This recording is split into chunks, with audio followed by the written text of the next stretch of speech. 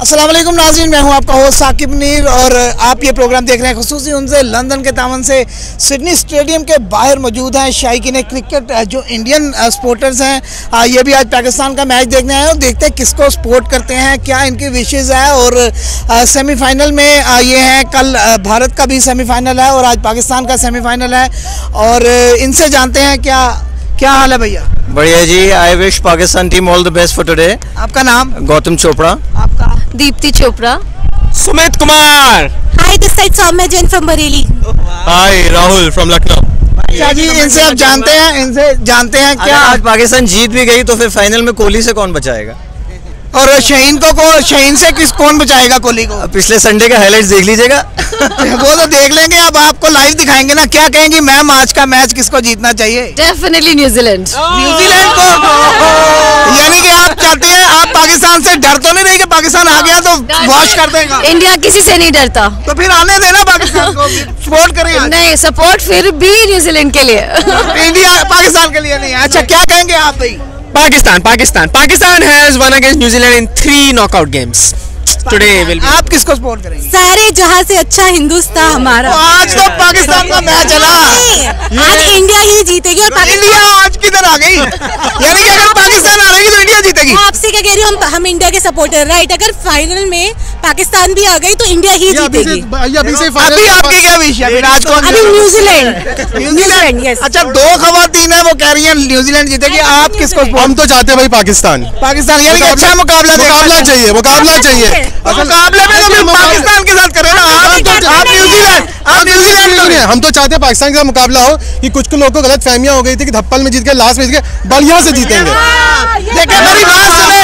देखे मेरी देखे मेरी- लड़का है आगे निकल के मारेगा। देखे मेरी बात सुने कुछ गलतियाँ हमारे से हुई थी पिछले मैच में। अब वो नहीं होने वाली। कुछ गलतियाँ हम लोग से भी कुछ गलतियाँ हम लोग से भी हुई थी कि दस विकेट से एक बार जीत गए। तो उससे बहुत ज़्यादा माहौल।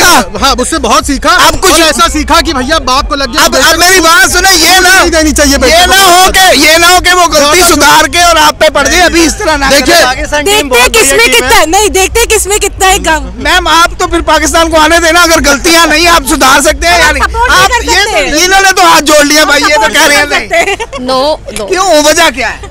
वजह आप देखना ही नहीं चाहती पाकिस्तान इंडिया का मैच। आप क्या बोले वो बोलना नहीं चाहती मैं। क्या नहीं जी I am here as a cricket lover अगर पाकिस्तान जीत मैच आज का अच्छा होना चाहिए। चाहे कोई भी जीते। लास्ट लास्ट बॉल तक मैच चले। We are here to enjoy cricket Shaheen Shah wicket की जगह अगर छक्का मार दे तो कैसा रहेगा? शहनशाह विकेट की जगह छक्का ये आपके लिए एक गिफ्ट है उनसे लंदन की तरफ़ से पाकिस्तान से। तो नाजरीन अभी भी आप मान जाए पाकिस्तान का और इंडिया का फाइनल होने दें। ये बस जीत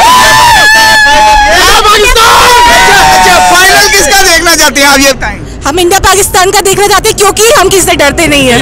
अच्छा आप इंडिया पाकिस्तान! आप नहीं आप केली इनके साथ इनके साथ तो सपोर्ट करें अपने लोगों को तो सपोर्ट कर ले।